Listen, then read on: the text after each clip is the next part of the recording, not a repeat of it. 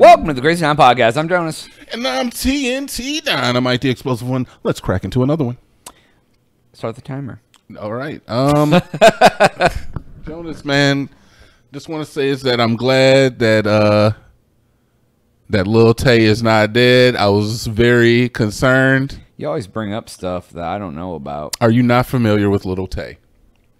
Uh, why would I be familiar? with Okay, so Tay? I guess we got to go back, Jones. We got to go back uh, about 10 years, Jonas, maybe about eight years or so. We have to go back to Bad Baby, her first inception. The inception of Bad Baby, Like, Danielle catch, Bregoli. Catch, catch me outside. Yes, Danielle Bregoli. All right. So when she happened, you knew there was going to be some copycats, right?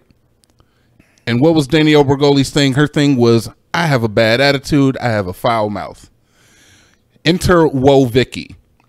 Have you Oh, I, yeah, she was the appropriation girl. You know who Woah Vicky is. I do. I do. Okay, she What was appropriation girl, but I mean, so was Bad Baby. Honestly, when you think about it, I'm, I, Is Woah Vicky still alive? So Woah Vicky is still alive. She was actually at the YNW Melly uh, trial. That was her her latest sighting. But when Woah Vicky came out, she befriended a 12 year old girl, or no, she had to be younger. I think she was like 11, 9 or 11 back then. Either way, she was like nine at the time. Uh, a girl from Canada, an Asian girl. Her name, Lil, her name, Oh! Lil Tay. Oh, Lil Tay. You said I thought you said Lil Bay. I remember Lil Tay. You remember Lil Tay? I remember hearing about like all the like her mom was like not So apparently her family was well to do and she was the world's youngest flexer because she would take pictures of herself in expensive cars owned by her fam- owned by her parents obviously because at 9 years old how can you flex anything? Um recently came in the news that Lil Tay had passed away deceased the uh it was looking as though her brother had passed away as well. It was Oh, wow. looking it was looking towards a uh, there was rumors of a murder there was rumors of murder suicide there was rumors of double suicide there was rumors of a car accident. Um, a lot of people had fun with the ai generated articles and there was a lot of speculation. It was uh, running the running it up in the uh, on the x sphere the twitter sphere and, and on reddit as well come was to find all her doing it to get famous? come to find out she was not dead um Oh. but uh yeah it, it it's very it's very interesting because like there was uh certain social medias that were changed to like one of them said like uh help me and uh they had the police department that contacted the father but he did not confirm or deny her being alive which was odd So it was done by the family to get them back in the in like the it, forefront. it seems that way. Um, after they saw that it got to be way more viral than they thought, because you literally said that a 14 year old girl was dead and one that had been. now they're claiming they're hacked. yes, they were claiming that they were hacked. Her and her brother at the same time. yeah, uh, seems a little off, right? So, how far does it go, man? I mean, How far for the I'll clout? tell you what. Sleuthing Gen Zers Instagrams is not my forte. But get it? See what I did there? Silent. I don't. What? I, I don't know what to say to that. Nothing. that physically hurt me. You're dead inside. Like yeah, like honestly, I feel like I have a case against case- battery because of how cringe that was. that was that was good. But dude. keep it going. I want you to keep it going. It's not my forte to go digging into Gen Zers lifestyles, but you know, because he's forty. Is that the joke? Is that your forty? Oh, Is that the joke? oh Okay. god. So, um, so like, are they in trouble of going to jail? I assume so. hope so. um, I assume that's some because and we're talking about Canada, man. There's, there's. You know, it's definitely- her dad. Um, you know what, uh, Jonas? I'm sick of Canadians coming down here and fucking shit up. I am. I am. I mean, Tory Lanez came down here and shot Meg Thee Stallion. By the way, he's getting ten years. If we want to talk about Canadians getting jail time, wow. and I think charges need to be brought up on Drake. What did Drake do Uh, for the for the um for the enemies and Hennessy's don't mix? yes, sure that. The strip club incident Oh wow, I don't know. where him and those guys got in a fight a long time ago. They riled up the club. The girls weren't safe. Jonas, I don't know what are you making like Drake references to songs here that I'm supposed to know the references. I'm not a Drake fan. I mean, I'm a Drake fan, but I'm not like that Drake guy who like you could say three lines from a freaking Drake song. I'm like, oh yeah, that Drake song. I'm not that guy. All right, Henne- Hennessy and enemies are one hell of a mixture. you're doing it again. You can keep doing it for as long as you want. It's not gonna. I I'm don't know what the I'm fuck not- you're talking about. No, uh, I don't. I don't. I want to look it up. Hold on, because I don't know. So uh, yeah, Tory Lanez, uh, he he had a retrial. I don't know if it was even a retrial, but he had uh he he had gotten sentenced to ten years. He got another ten years, so he's going to jail. People are sad about this. I don't really see why.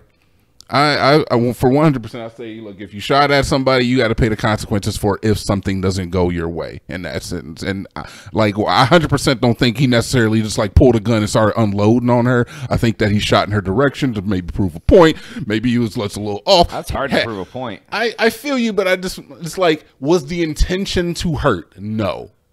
The intention to harm was not there. Bad decision making took place, and yes, you have to live with it, whatever happens there. But I do not think that he maliciously was like, "I'm going to end this person's life" or "I'm going to physically harm this person." When you look at the the wounds that were on her feet, and yes, she did have some wounds from the bullets on her feet. It was not like he shot her in that portion of her foot. It was Drake and Chris Brown got in a fight at a club Oh. long time ago over Rihanna. Oh, okay, You know about that? yeah, I remember that. Then Now why didn't you it. know what I was talking about? Because uh, what year was that? 2012. Okay, what the hell are you talking? That was that was eleven years ago. I mean, I What are you? you- We're talking about Lil Tay.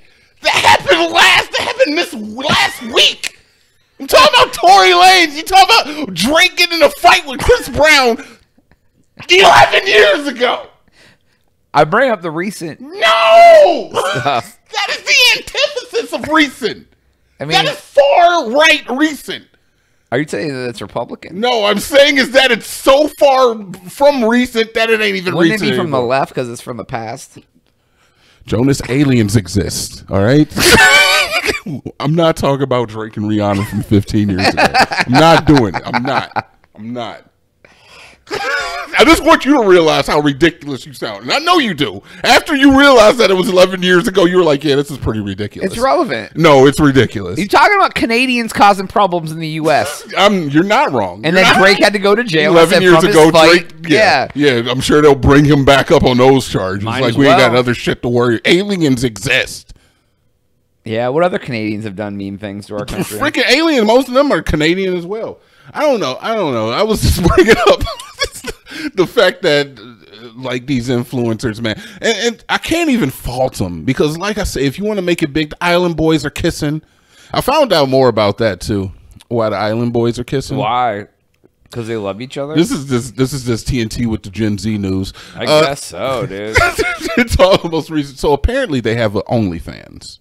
Okay. oh, like together? Yeah, Oh, they do. That's where they make out. but it. Well, You know, let me let me get there. There's actually a lead up because uh, the only thing is that okay, if you're not familiar with who the Island Boys were, they went viral a couple years back for Island Boys. I got my things, oh yeah, and they had like the weird hair, white guys covered in tattoos. Are they white? I don't know. They say the N word, so probably not.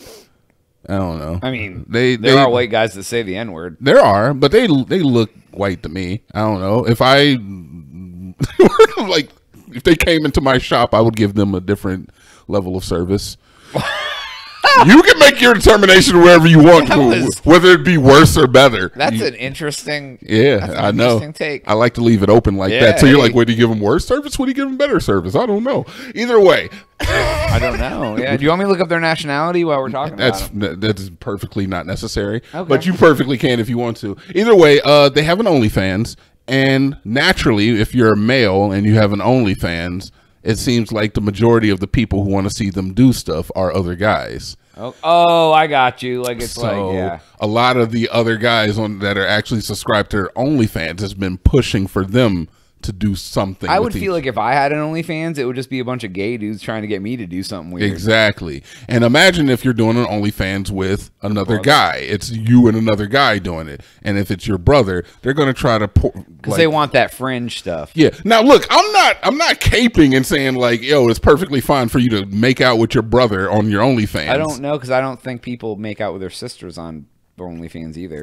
It's very funny. There was a guy who had an OnlyFans that he was doing with his father, and it would just be them in like a lot of like sh- like near incestual positioning, but nothing as incestual as making out. Yeah, yeah, yeah. But uh, so that is why they were making out, or the videos of them making out have have surfaced. Oh, they say that they've never gone any further, and that there's certain levels that they uh they won't go past. Actually, I saw an interview that they did with Adam Twenty Two, the the the guy who let the uh the one guy have sex with his wife for her OnlyFans. Oh, okay. You remember that one? You heard about that one? Probably not. No.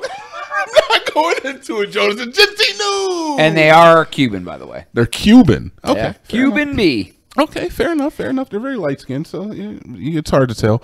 Yeah. Uh, so, anyways, All right. Any more Gen Z news? I will bring it to you. News feeds coming through, and Jonas will bring you news. latte news. Uh, Jonas will bring you news from 11 years ago with Drake getting into a fight with Rihanna. Apparently, hey, uh, that's all time we have for today's episode. Go to crazytown.com for Jonas. TNT. Oh, yep.